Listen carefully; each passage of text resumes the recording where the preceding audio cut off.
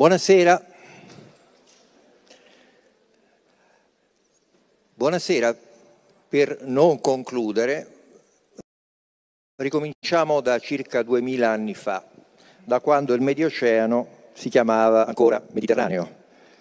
E quindi partirei con una carta che ci ricorda che cos'era il Mediterraneo di Roma. Qui sono rappresentate le strade di Roma che ovviamente finivano tutte verso dei porti di sbocco e le principali rotte marittime di un circuito mediterraneo. Questo possiamo definirlo il Mediterraneo ideale dal punto di vista di Roma, dell'Italia, della penisola, perché era tutto costruito, per parafrasare la pubblicità di una famosa banca attuale, tutto intorno a noi. Roma era il centro del centro del Mediterraneo, l'impero era affacciato su questo mare che poi solo in età tarda verrà definito Mare Nostrum. Mm, tengo a sottolineare questo fatto, i romani di tempo di Augusto e delle dinastie Giulio Claudia e così via non parlarono di Mare Nostrum, c'era un impero non dichiarato, una repubblica di fatto imperiale e poi c'era il mare che era un bene comune secondo il diritto romano ma di fatto controllato e gestito da Roma, in particolare dalla Pax Augustea, quindi siamo all'inizio dell'età cristiana, ancora almeno per 4-5 secoli questa Pax Augustea, fatti fuori i vari pirati e i vari concorrenti, garantiva il circuito mediterraneo centrato su Roma, o meglio da un punto di vista eh, diciamo, della difesa eh, il porto di Ostia, cioè lo sbocco di Roma sul mare, porto di Ostia che però non poteva essere, infatti non è nemmeno oggi, un porto commerciale, semplicemente perché alla foce del Tevere e quindi si insabbiava immediatamente, come qualcuno qui forse spera che accada anche a Rotterdam.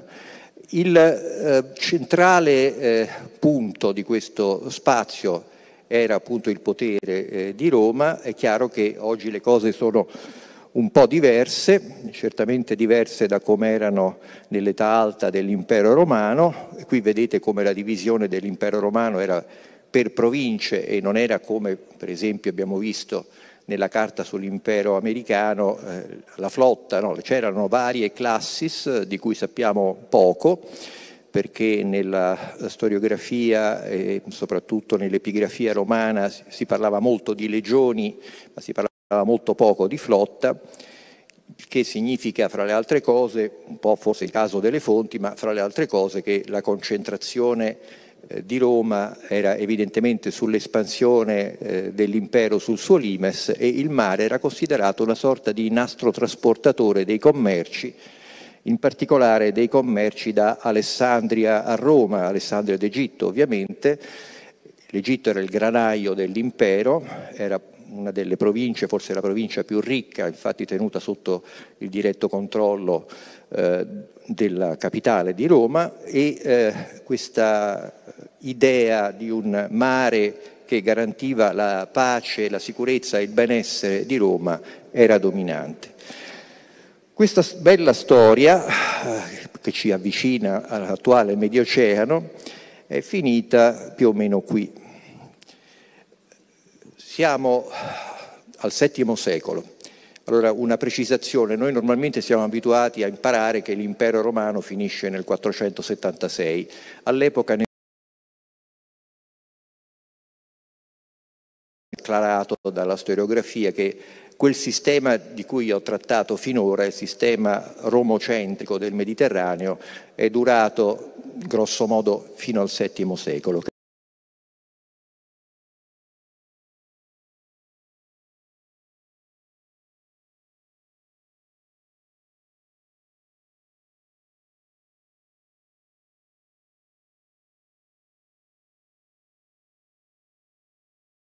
Insieme che gli storici chiamano Romania, l'accento sulla A, cioè lo spazio classico, eh, linguistico e culturale romano, ecco, quei popoli eh, si facevano facilmente assimilare, poi diventavano essi stessi classe dirigente romana, quanti ne abbiamo avuti di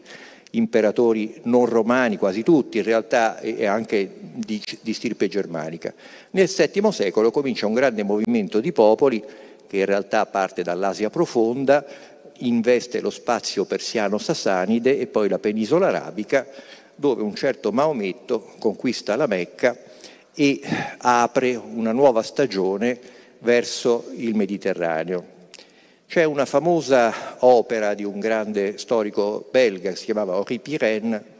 che si chiama Maometto e Carlo Magno. Siamo nel 1937 e questo augusto studioso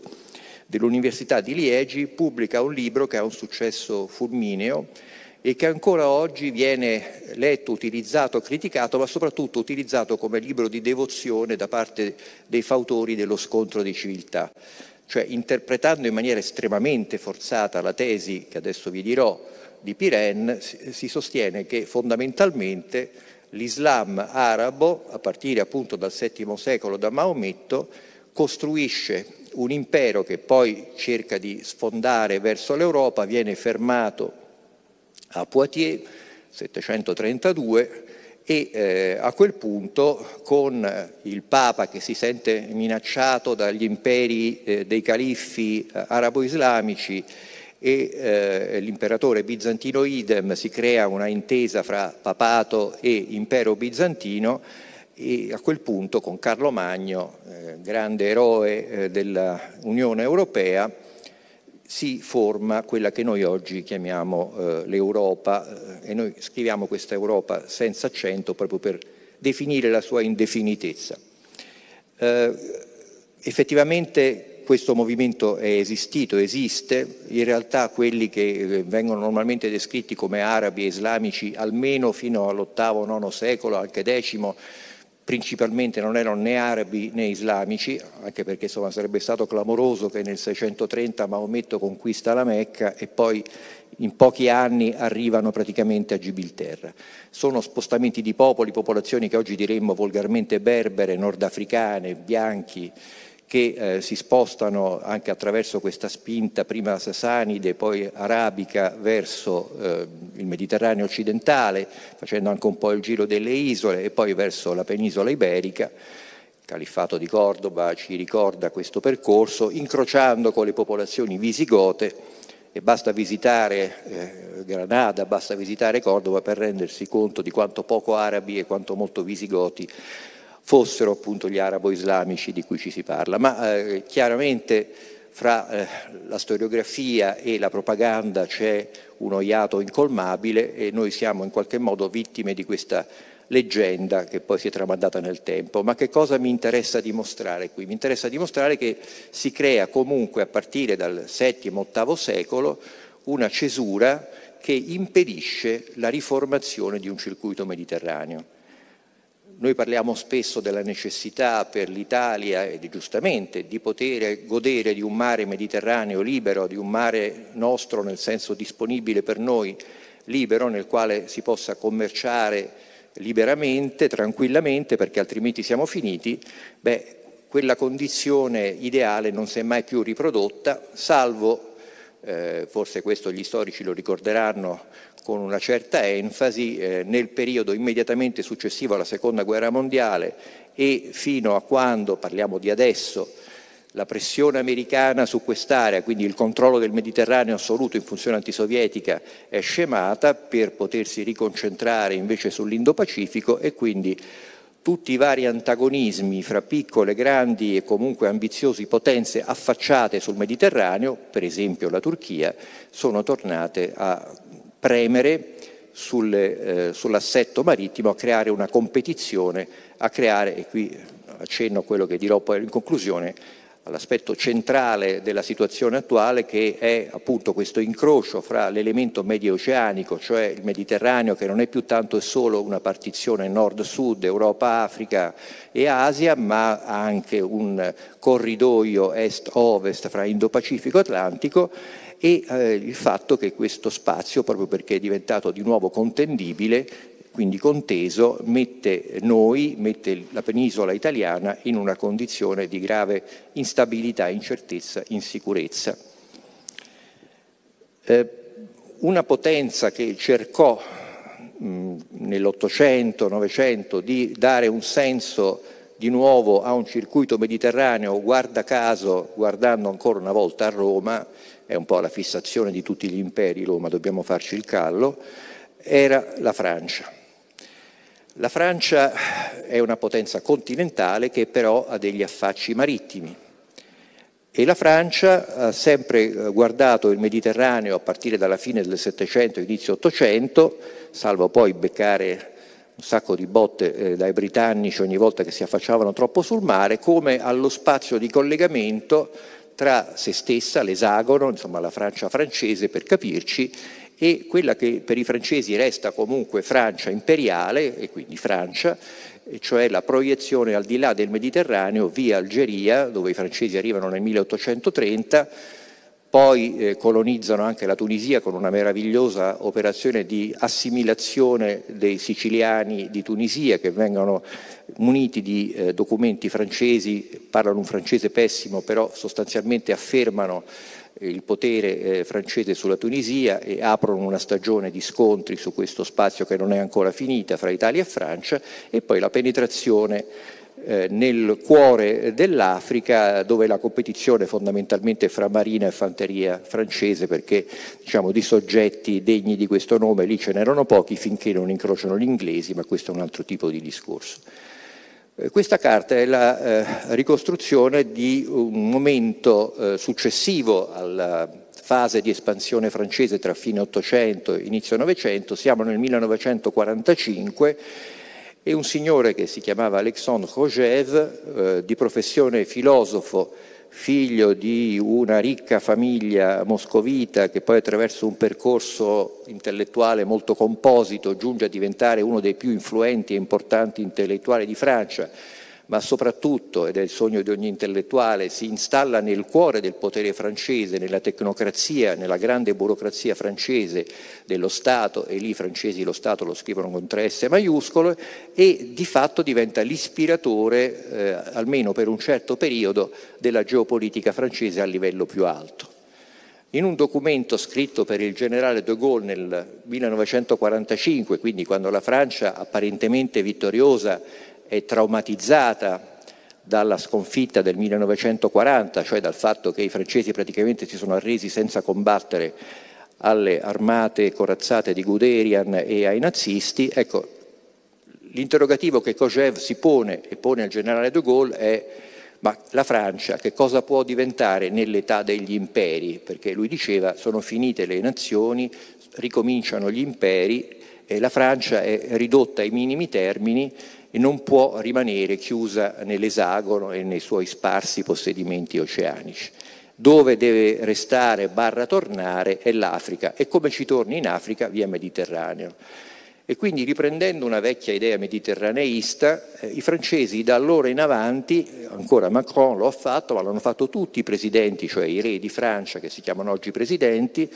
il, grado di autocrazia di un Presidente della Repubblica francese è insuperato e insuperabile. Mi viene da ridere quando qualcuno definisce so, Erdogan dittatore, Putin. Sono tutti signori che non hanno che una parte del potere eh, che ha il Presidente della Repubblica francese. Ma la Repubblica francese, oltre ad avere un Presidente, ha una lunga eh, storia di mentalità e di cultura geopolitica che nasce ben prima della Repubblica, nasce quantomeno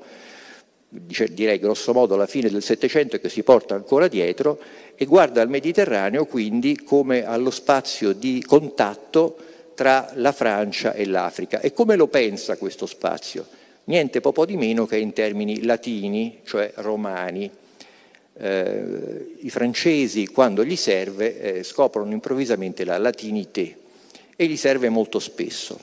perché la, la latinité, quindi il mediterraneismo francese, è eh, la costruzione ideologica applicata alla geopolitica che consente alla Francia di considerarsi una potenza euroafricana considerando anche che i francesi sono, a differenza dell'Italia, tuttora in espansione demografica e che hanno una lingua internazionale, culturale di grande livello e di cui sono molto fieri e che soprattutto curano come un'arma, un'arma di influenza culturale, quindi geopolitica, ecco che l'Africa diventa il bacino del futuro per la Francia. Quante volte mi è capitato, vi sarà capitato anche a voi, di parlare con dei francesi che vi spiegano con grande enfasi come fra poco, fra qualche decennio, eh, il francese addirittura sarà la prima lingua del mondo perché siccome gli africani si riproducono come conigli e secondo loro parlano francese, andate nell'impero francese e vedrete come parlano francese, inevitabilmente la lingua francese, la francofonia e alla fine la Francia tornerà a dominare l'ecumene. Ma restiamo al Mediterraneo. Questo è stato e rimane ancora dal punto di vista francese il tentativo di ricostruire una qualche forma di circuito romano eh, dell'impero, latino per usare la terminologia di Kojev. E questo eh, viene inevitabilmente contrastato anzitutto in campo europeo dalla Germania, che ogni volta che sente parlare di Mediterraneo gli vengono le bolle, e eh, naturalmente in misura più soft, perché non c'è bisogno di usare le maniere forti, anche dagli americani, quando spiegano ai francesi che devono restare un momentino al loro posto e recentemente glielo hanno spiegato in maniera molto brutale con la storia dei sottomarini che vedete. Poi leggevo oggi, in queste ore addirittura Macron, che deve essere in una fase un po' nervosa, ehm, ha eh, disdetto una visita del presidente svizzero in Francia perché la Svizzera si compra gli F-35 invece che caccia francesi. Quindi insomma è un momento in cui i nostri amici transalpini soffrono un po', ma le idee grandiose, come sapete, non muoiono mai. Perché questa lunga premessa? Perché senza capire come la permanenza, eh, soprattutto a livello culturale, eh, della cesura del VII-VIII secolo e la paura eh, innanzitutto della Francia, ma io penso presto anche di altri paesi europei, sicuramente anche della Germania, in Italia per fortuna ancora siamo un po' meglio, di essere di nuovo alle prese con qualche forma di virgolette invasione islamica, lascio a voi giudicare quanto di vero o meno vero ci sia, è un fattore ulteriore di riproduzione di uno schema di scontro di civiltà che impedisce che il Mediterraneo possa essere considerato quello che ogni tanto ci siamo raccontati, un po' credendoci, un po' non credendoci, cioè uno spazio di libera collaborazione, di pace e ci vogliamo tutti bene. Non è così, abbiamo visto come eh, il Mediterraneo sia di nuovo uno spazio conteso e territorializzato. E quindi vengo all'attualità. Ci diceva eh, stamattina l'ammiraglio Cavo Dragone che ormai solamente il 20% eh, dello spazio mediterraneo è più o meno fuori dalle varie zone economiche esclusive, pesca, ecologia e quant'altro, che hanno una forma giuridica ma che hanno un senso geopolitico molto forte e che segnalano eh, la creazione all'interno di uno spazio marittimo, quindi liquido, quindi fluido, di veri e propri confini che vengono considerati eh, da difendere come se fossero delle frontiere terrestri. Noi italiani siamo l'unico paese affacciato sul Mediterraneo che ha sempre detto ma noi non vogliamo una zona economica esclusiva perché noi vogliamo un mare libero. Il problema è che mentre noi dicevamo noi vogliamo un mare libero, gli altri lo occupavano. E quindi noi ci troviamo adesso a immaginare, ripeto, immaginare una nostra zona economica esclusiva, faccio l'esempio di questo per capire che tipo di territorializzazione si può fare, quando ormai insomma, i posti sono occupati, quando abbiamo un'Algeria che si affaccia nel Golfo di Oristano, fra l'altro con i suoi sommergibili di fabbricazione russa notevolmente più potenti dei nostri, per dire un attore non esattamente clamoroso, e in cui eh, nell'area si eh, ricreano o si riformano vecchie rivalità, per esempio quella franco-turca, ahimè da quello che si legge anche sulla stampa francese e per quello che si può su quella turca, e ancora riprende spesso proprio la tesi pireniana dello scontro eh, di civiltà, quando Macron per esempio parla di separatismo eh, dentro la Francia non intende che un pezzo di Francia si vuole separare dal resto, ma intende che eh, la propaganda islamica, che secondo i francesi è largamente curata e foraggiata dai turchi attraverso la rete dei fratelli musulmani, intende non costruire degli spazi separati e autonomi all'interno della Francia, ma semplicemente prendersi la Francia, piano piano. E quindi tornano vecchi schemi e addio mare libero e mediterraneo dei sogni. E questo ci porta a concludere sulla situazione attuale. Questa carta ormai ve l'abbiamo presentata fino alla noia, eh, vorrei eh, riprenderla perché mi permette di fare un paio di ragionamenti che non vogliono assolutamente essere conclusivi, ma vorrebbero essere un ulteriore spunto di eh, riflessione e di indagine su un tema che è troppo importante evidentemente per poter esaurire. Che cosa noi eh, possiamo fare insieme o non insieme con le altre eh, potenze europee, considerando che per quanto gli americani qui diciamo, dormano con un occhio solo, eh, hanno un controllo di ultima istanza, in particolare grazie al potere aereo, ai satelliti, all'intelligence dei segnali e così via su tutto quello che accade nell'area e ogni volta che qualche potenza europea prova a fare delle spedizioni mi riferisco per esempio anche a quella francese e britannica in Libia, se non ci sono gli americani a un certo punto la fin finisce la benzina, finiscono le munizioni e quindi si deve ritornare a quella casella di partenza. Ma posta questa premessa eh, ci sono eh, delle questioni che riguardano la nostra sicurezza che stanno venendo sempre più eh, in evidenza. Una è quella che abbiamo definito della soglia dello stretto di Sicilia. Noi abbiamo guardato e anche cartografato eh, questo stretto di Sicilia finora, fino a un paio d'anni fa, essenzialmente in una dimensione nord-sud, in una dimensione stabilità relativa, caos per nulla relativo al di sotto di questa soglia. E quindi abbiamo in qualche modo, non dico equiparato, ma assimilato questa faglia di Caoslandia, come l'abbiamo chiamata,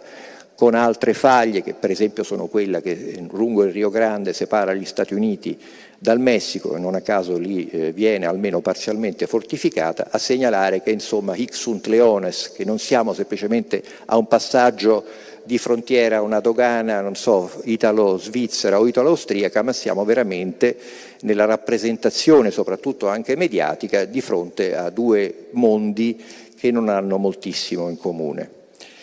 E qui eh, dobbiamo fare evidentemente delle scelte, ne abbiamo parlato eh, a lungo in queste due giornate, abbiamo parlato prima in termini generali, poi in termini specifici eh, di aree eh, del Mediterraneo, del Medio Oceano e poi siamo arrivati a parlare dell'Indo-Pacifico, vorrei semplicemente concentrarmi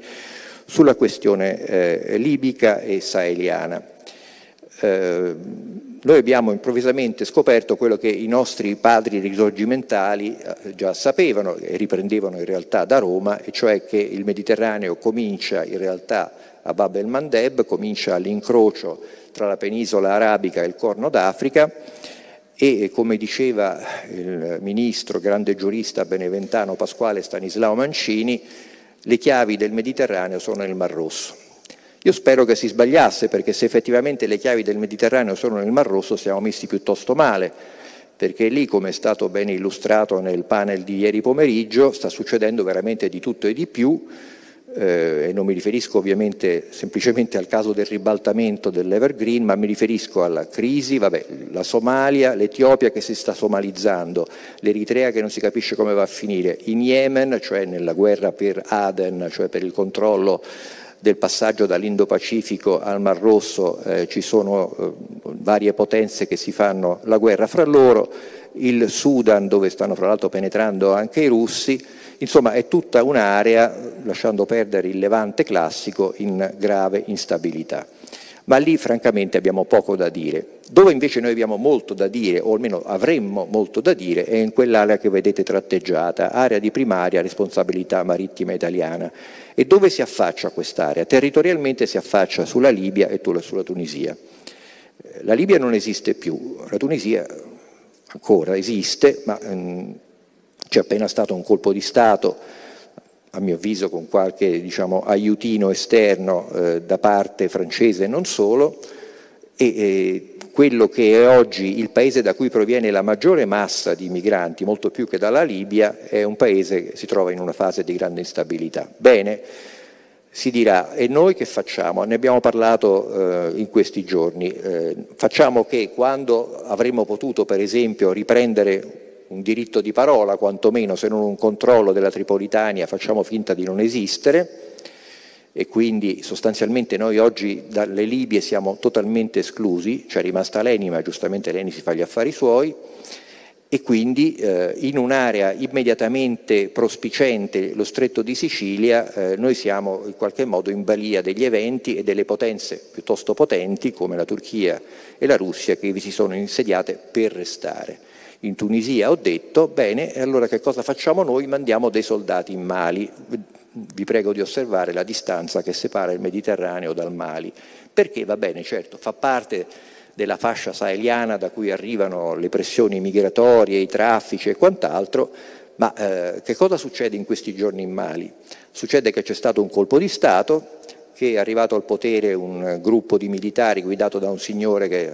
fatto le varie scuole che ha fatto soprattutto a Mosca e il quale ha detto benissimo adesso qui voi francesi non siete capaci di reggere il Mali, io chiamo i russi che almeno quelli ci sanno fare. Sta arrivando la Wagner, un migliaio di soldati della Wagner che ormai non si capisce devono essere un esercito formidabile, a giudicare, eh, cioè la Wagner per chi non lo sa è un'organizzazione di chiamiamoli contractor, mercenari, eh, fondamentalmente al servizio dei russi, tutte le maggiori potenze, anche quelle minori, ormai si dotano di strumenti mercenari, noi siamo anche qui gli illibati che non possono permettersi questo strumento quando lo usano tutti gli altri, è un altro elemento di svantaggio. E questo signore eh, praticamente ha comunicato a tutti quanti, in particolare ai francesi, che è ora di tornare indietro e eh, i francesi eh, stanno organizzando la ritirata. Noi arriviamo lì con 250 forze speciali, elicottero e quant'altro e finiamo dove? In una delle zone più eh, guerreggiate di tutta l'Africa, in mezzo a eh, gruppi armati più diversi, più o meno fanatizzati jihadisti, che eh, all'incrocio tra eh, il Mali, il Niger, il Burkina Faso eh, dettano legge, i francesi se ne vanno, arrivano i russi e vorrei sapere che cosa noi facciamo con questi soldati. Invece, dopo non avere mandato invece soldati in Tripolitania, eh, dovremmo forse concentrarci, quando parliamo di quest'area, su quello che a noi veramente interessa. E che cosa ci interessa veramente? Il Niger e in particolare la città di Agadez, che vedete segnata, che è il cuore centrale di tutte le rotte sia occidentali, centrali che orientali che dal cuore dell'Africa puntano verso il Mediterraneo. Evidentemente il controllo di Agadez, il controllo, insomma, quantomeno la supervisione di Agadez è stata finora mantenuta soprattutto dai francesi, certamente con l'aiuto degli americani, e i francesi hanno fatto di tutto per impedire che noi potessimo entrare ad Agadez, adesso stiamo cercando di installarci anche là. Però questa è un'operazione che ha un senso, non ha molto senso invece continuare con queste operazioni antiterrorismo in giro per il mondo che ci fanno perdere di vista la realtà delle cose e ci fanno perdere di vista la necessità di controllare almeno quello spazio di Mediterraneo che immette verso la nostra penisola e dal quale dipende la sicurezza nostra, ma poi in gran parte anche la sicurezza dei nostri eh, cosiddetti partner europei. Eh, per concludere, non ci sono ovviamente soluzioni magiche. Al Mediterraneo di Roma non si può tornare, che, ne pensino i francesi. Eh, non sappiamo fino a che punto e a, in che modo eh, questo relativo disinteresse americano per il Mediterraneo sia un fatto parziale, duraturo, una fase o invece un percorso di lungo periodo. In tutta questa incertezza forse è il caso di riprendere in mano eh, qualche idea per la nostra eh, sicurezza, per la nostra eh, protezione delle linee, delle rotte marittime che riguardano anche Trieste. Abbiamo cercato di farlo nel numero della rivista che trovate, lo abbiamo ripetuto, approfondito eh, in maniera eh, anche molto specifica nel corso di queste due giornate. È un lavoro che continueremo, e a questo punto io devo solo ringraziare voi innanzitutto eh, che ci avete seguito in maniera quasi maniacale in tutta questa galoppata che quasi non ha lasciato spazio tra un panel e l'altro, quindi vi sono molto grato, vi ringrazio per l'incoraggiamento che ci avete dato. Tra l'altro essere finalmente di nuovo in contatto fisico con voi è una bella esperienza, se posso aggiungere una parola specifica per i ragazzi e anche i non ragazzi della scuola di Limes che hanno avuto il coraggio di arrivare fino a qua e di seguirci e di incoraggiarci, questo è, credo che sia giusto e credo di poterlo fare a nome di tutta la redazione di Limes un eh, ringraziamento, oltre che ai nostri sponsor speciale, va agli organizzatori, agli amici del porto di Trieste, eh, a Franca Prest che eh, insieme a Ludovica Carrara ha eh, permesso che questa nostra iniziativa potesse prendere effettivamente corpo. Abbiamo fatto questa galoppata nel Medio qui a Trieste, eh, continueremo ad occuparci di mare perché come abbiamo già detto mille volte, lo ripetiamo, la geopolitica marittima oggi è assolutamente fondamentale e continueremo a farlo insieme a voi eh, qui a Trieste e a partire da un aggiornamento continuo di quelle che sono le analisi sulla nostra situazione in un mare che non accetta più quelli che pensano di essere altrove, ma accetta solo quelli che si costruiscono il diritto di parola e il diritto di commercio e di controllo della propria sicurezza in questo mare. È finito il tempo delle dichiarazioni, deve cominciare il tempo delle azioni perché chi non agisce viene agito e questo non è simpatico. Vi ringrazio ancora e una buona serata a tutti.